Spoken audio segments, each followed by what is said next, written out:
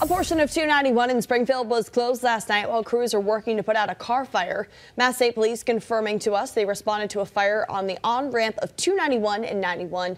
No injuries were reported and the highway has since reopened.